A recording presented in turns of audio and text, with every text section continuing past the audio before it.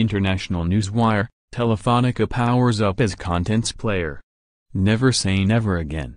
For months, executives at Spain's Telefonica have been questioning the cost of Spanish La Liga soccer rights, plus those two UEFA Champions League and Europa League matches, which hasn't stopped it scooping this week's Spanish rights both tournaments, for the 2019-22 seasons. The La Liga deal comes just a month after Movistar Plus signed up Netflix for carriage in Spain and Latin America.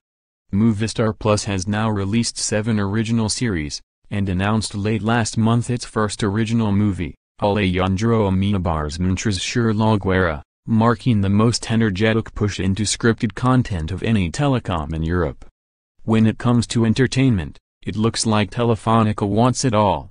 It has paid 980 million euros, $1.1 billion, for each new La Liga season in the deal, 360 million euros, $420 million, each Champions League and Europa League season, a net cost up just 5% on the 2018-19 season, it said in a statement Friday.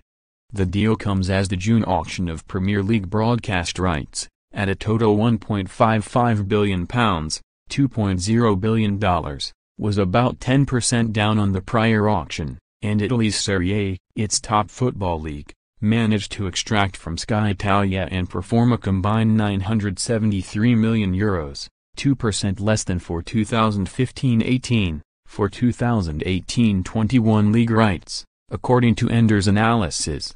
Related Greta Gerwig and number 039 semicolon S and number 039 semicolon Little Women and number 039, Eyes Meryl Streep, Emma Stone, Saoirse Ronan, Timothée Chalamet Ubisoft CEO Yves Guillemot wants to reach 5 billion players in a decade but this isn't just about soccer.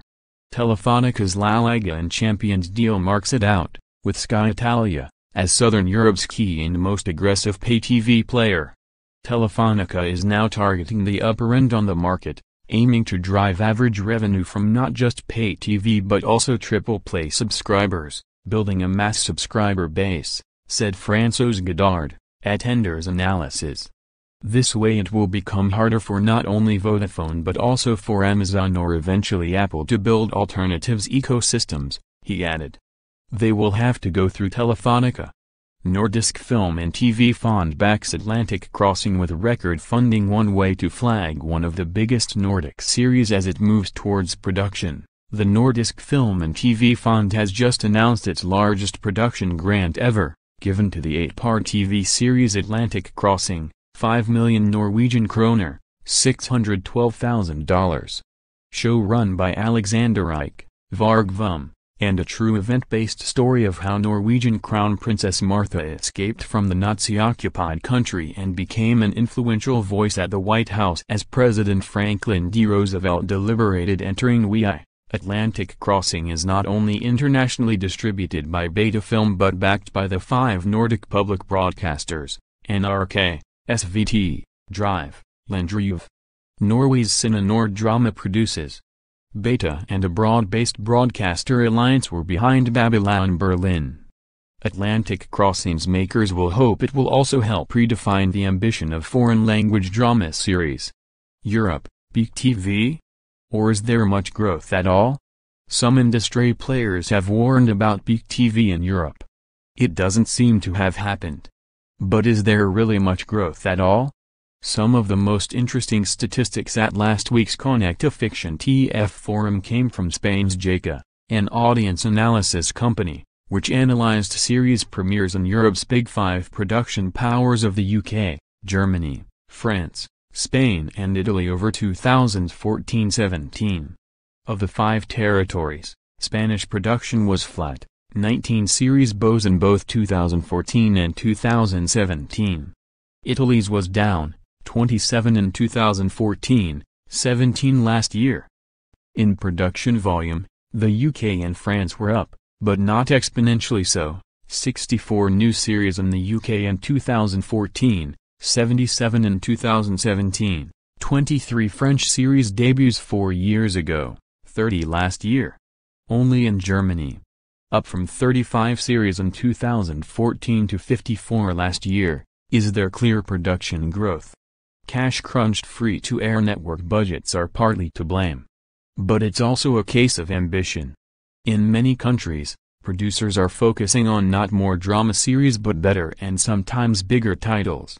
Production volume is just one metric when judging Europe's TV growth.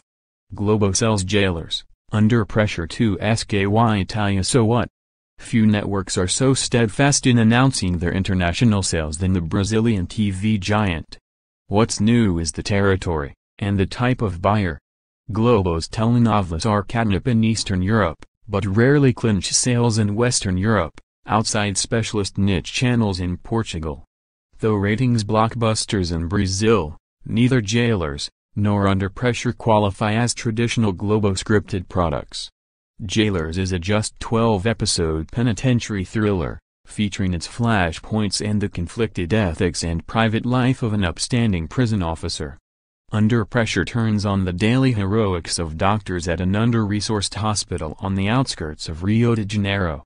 Both are co-produced by top movie companies now highly active in TV, Gullane and Conspiração. Both won awards at TV events, Jailers the Grand Jury Award at 2017's MIP Drama screenings, Under Pressure for statues at France's FIPA. Their natural market is far from that of traditional telenovela fare